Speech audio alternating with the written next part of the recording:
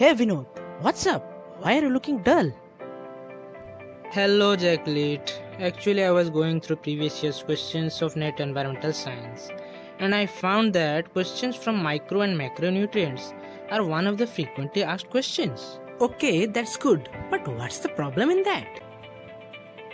There are actually 20 elements in both the categories and I am often confused among them. No need to worry Vinod. I will help you with one easy trick. So, now listen to me carefully. So first of all, let's know what are essential nutrients for plants.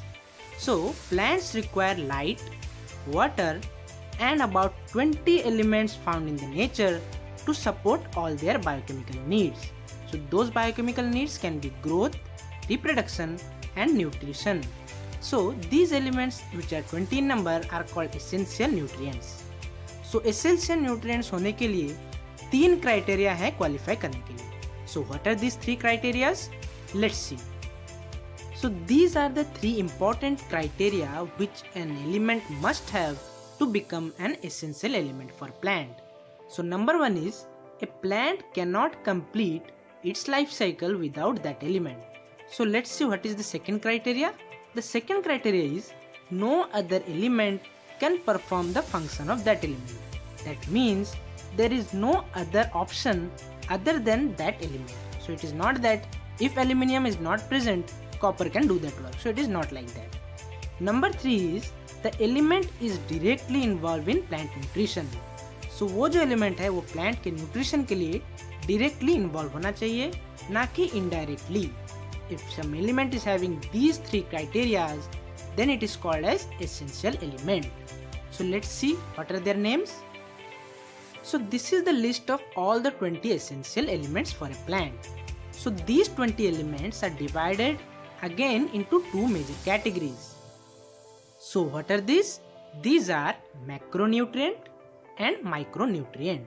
So macronutrients are the nutrients which are required in more amount in plant and micronutrients are required in less amount. So these macronutrients they constitute about greater than 0.5 gram per kg of the plant dry weight.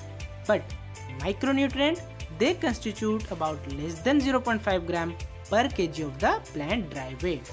So let's see what are the macronutrients. Macronutrients are carbon, hydrogen, oxygen, nitrogen, phosphorus, potassium, sulfur, calcium, magnesium and also silicon is considered.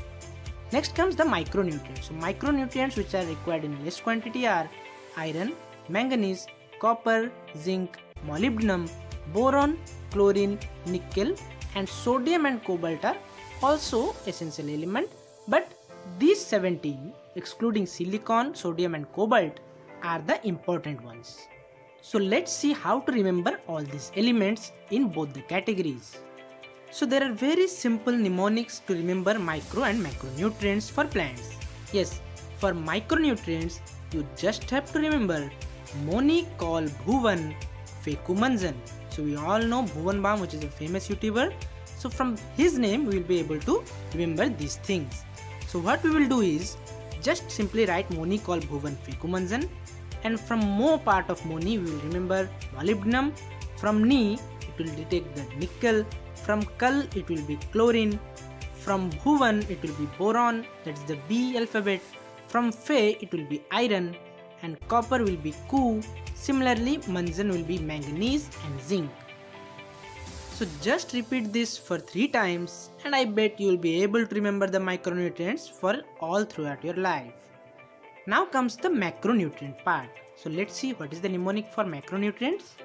So to remember macronutrient, you have to remember one thing that is Chop Kings ka Maggi. Yes, we all know that King's Maggi it is very popular so you have to remember Chop Kings ka Maggi.